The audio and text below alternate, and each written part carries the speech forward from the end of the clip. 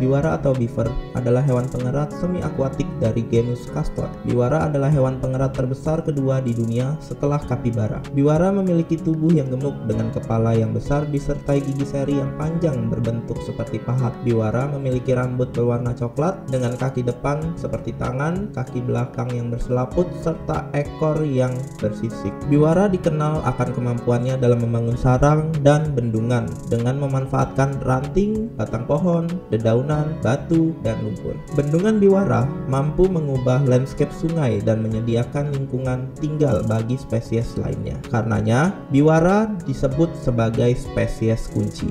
Nah, tahukah kalian, biwara memiliki gigi yang sangat kuat yang digunakannya untuk menebang pepohonan. Gigi biwara dilapisi lapisan email gigi yang kaya akan zat besi, sehingga tampak berwarna orange. Gigi biwara akan tumbuh terus-menerus sepanjang hidupnya.